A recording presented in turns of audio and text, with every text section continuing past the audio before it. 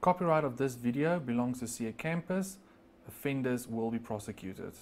In this recording, we will be discussing how to reference your IFRS standards effectively. I'm Bianca Nel, the Financial Accounting Lecturer at CA Campus. The aim of this recording is to provide you with a guidance on how to start referencing your IFRS standards. Why is this important? Remember, in your CTA exam, ITC, as well as APC exam, that you will be allowed to take in your IFRS textbooks. Therefore, you need to know how to use them throughout the test and the exam. Now, when and why will you use your IFRS standards? First, you will use them during your studies. Then, when you enter the professional career, you will use them as well. Why will you use them during your professional career? There will be certain transactions that you encounter, and you should be able to go back to your standard and read and understand what you are reading on how to account for these transactions. Therefore, it's important during your studies that you learn how to use your IFRS standards. The biggest problem that we have identified is that students think they can go into an exam and open and look for something that they have never studied or read before. The main thing this year, you need to study the principles first. You need to study the principles and then in an exam, your textbook should actually work for you, not against you. Now, what do I mean by working for you? Why do you need to use your IFRS textbook during an exam? Let's quickly think about this. Either to reference to an applicable paragraph or to confirm certain information. Why do you need to confirm certain information? During the exam, the pressure is quite high and you might forget something. Yes, you have studied it. However, you might forget how to apply it. Then you are able to go back to that applicable standard and briefly read through them. Then, thirdly, important, your presentation as well as your disclosure. Now, what is the difference between presentation and disclosure? Presentation will be to present the item, asset or liability on the face of your statement of financial position or in your profit and loss statement. Disclosure will be to disclose this in a note. Now guys, let's be honest, there's quite a lot of standards, there's quite a lot of theory to study.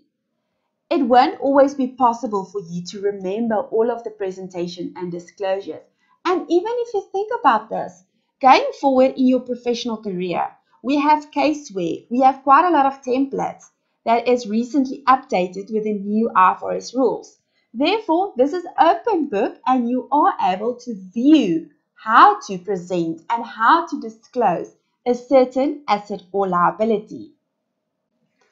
I want to emphasize your IFRS standards are there to assist you in an exam.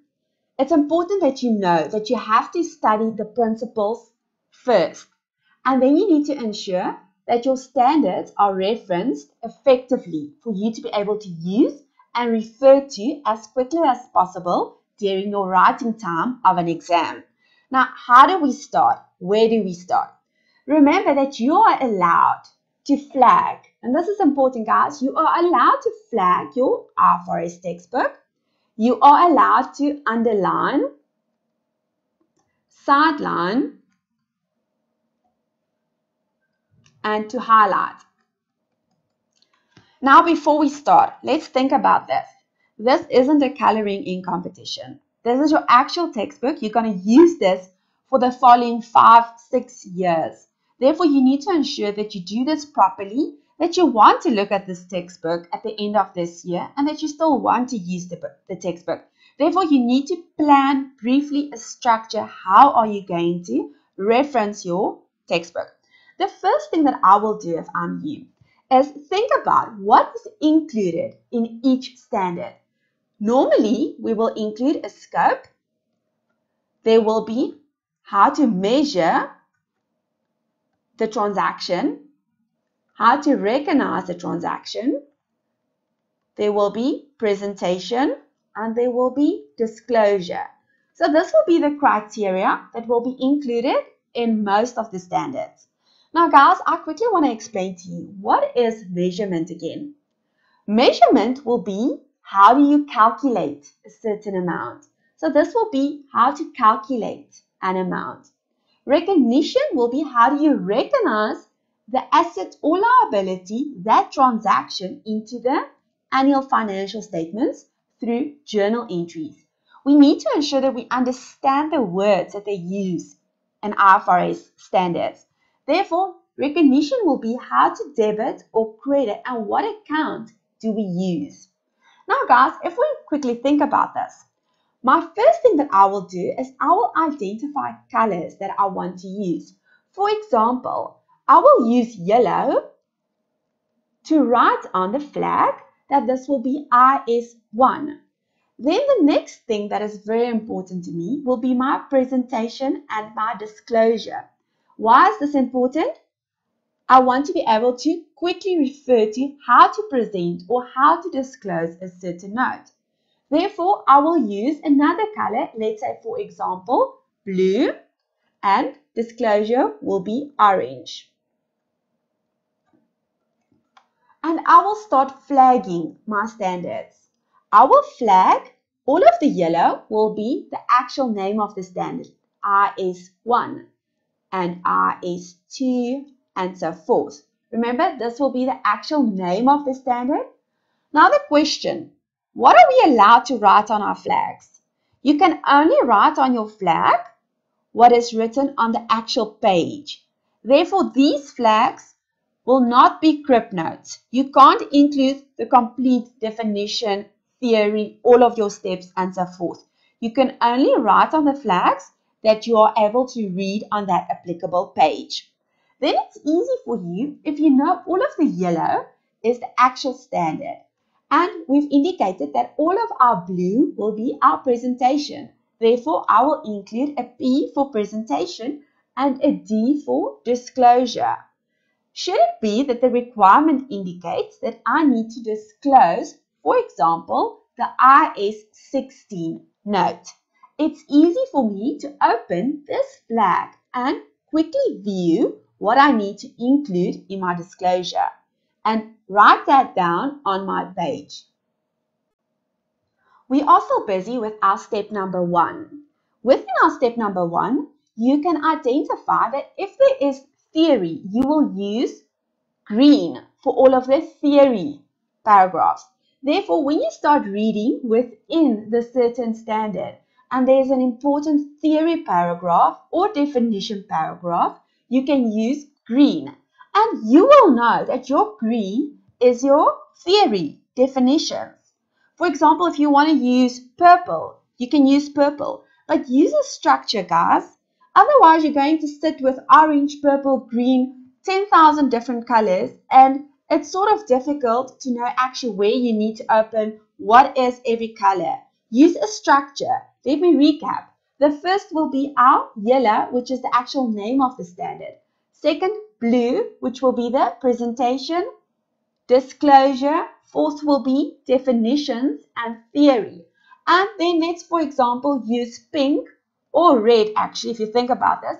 If there is a very important paragraph that you tend to identify throughout the year in each and every single test, then you know that this is the important paragraph.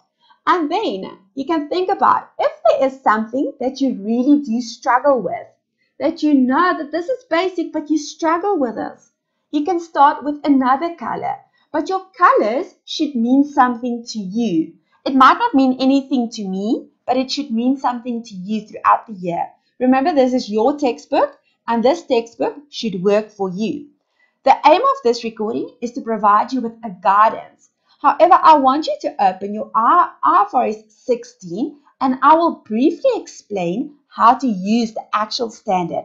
I'm not going to go into the detail of highlighting, referencing, underlining, and sidelining each paragraph. I want to discuss the contents page. This will be the first page that you see when you open your IFRS 16. This page provides you with history on IFRS 16. Remember, we had IAS 17, SIC 15, SIC 27, revised IAS 17 started, and IFRIC 4, and now we have IFRS 16. I do not want you to include a flag on this page. I want you to include your flag on the contents page. Why on the content page? It's important that during the exam, in the requirement, if you're unsure of what they actually want you to do, you can open your content page and briefly read through your content page to be able to identify the applicable paragraph. If you need to know how to measure in the lessee's records, you will be able to identify that this is our measurement and you need to refer to paragraph 22. And immediately you can open paragraph 22. Then remember that you need to include your flagging of your presentation and disclosure. At CA Campus, we will teach you how to read your IFRS standards. We will prepare you for your career and most important, prepare you for your exams. If you are interested in learning more, you are welcome to register for our free week at no obligation. You can send an email to info at campus www.co.za. Thank you and good luck with your CTA year.